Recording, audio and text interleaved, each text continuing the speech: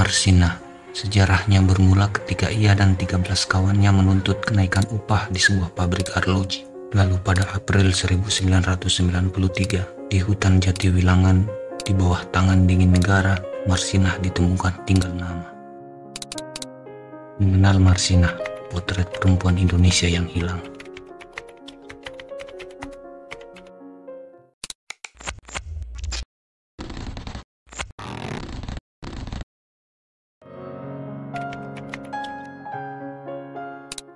Nganjuk, 10 April 1969, Marsinah lahir. Tumbuh dalam keluarga miskin tak berarti membuat ia bukan seorang yang terpelajar. Ia memang sempat bersekolah, tetapi kehidupan yang tak serba ada membuatnya harus meninggalkan seragam sekolah. Marsinah bukan kelas bangsawan, bukan pula seorang feminis yang menuntut kesetaraan. Dia Marsinah, perempuan biasa buruh di sebuah pabrik yang cukup bising. Dia hanya menuntut apa yang disebut hak sebagai pekerja. Dan dia melawan persis ketika kekerasan aparat mewabah lebih cepat dari apa yang bisa dilakukan virus. Bekal yang dia punya adalah pengetahuan yang diperoleh dari senggang waktunya membaca dan mengkliping koran. Marsinah adalah buruh PT Catur Putra Surya, pabrik arloji di Siring, Jawa Timur, dengan upah Rp1.700 per bulan Sementara berdasarkan Kepmen 50 garing 1992 diatur bahwa UMR Jawa Timur ialah Rp2.250.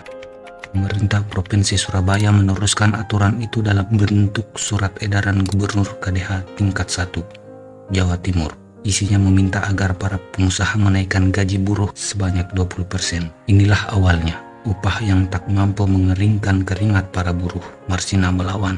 Sudah itu, gugur. Tidak, ia digugurkan.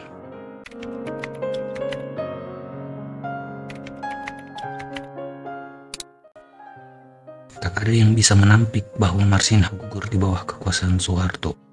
Sekitar satu bulan sebelum Marsin terbunuh, Soeharto menghadiri pertemuan hak asasi di Thailand. Dalam forum besar itu, Soeharto menyampaikan bahwa rancangan undang-undang hak asasi manusia tak dapat diberlakukan di negara-negara Asia. Sebab bagi Soeharto, Asia memiliki budaya berbeda dengan Eropa, di mana warganya bebas mengkritik pemimpinnya. Dalam From Marsinah Tumunir, Grounding Human Rights in Indonesia yang terbit tahun 2008, Soeharto menekankan bahwa warga negara memiliki kewajiban untuk menunjukkan rasa hormat kepada pemimpinnya, yang itu tercermin pula terhadap anggota keluarga kepada kepala keluarga. Tak heran apabila pada akhirnya Marsinah dan para buruh harus berbunturan dengan militer.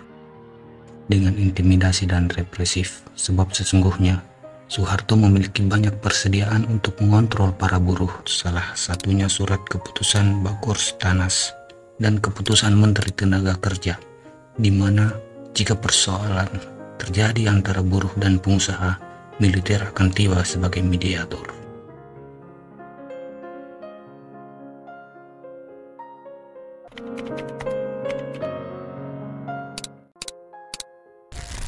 Sidoarjo 2 Mei 1993 Marsinah terlibat dalam sebuah rencana unjuk rasa.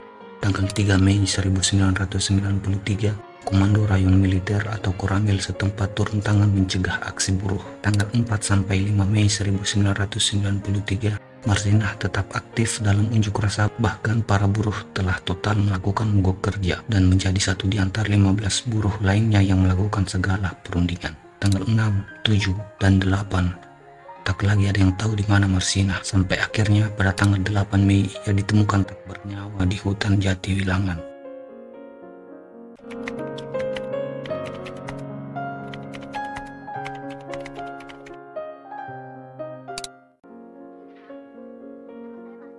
Para perompak bisa membakar kebun bunga, tapi tak sesiapa dapat menunda datangnya musim semi. Sair itu tepat untuk Marsinah, sebab sampai hari ini ia telah menjadi ibu bagi kelahiran Marsinah-Marsinah lainnya.